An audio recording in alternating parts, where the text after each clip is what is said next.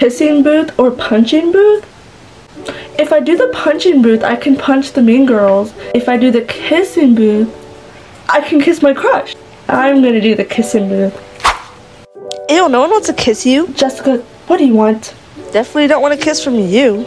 Don't you have anything better to do? No. Actually, I think I see your boyfriend online over there.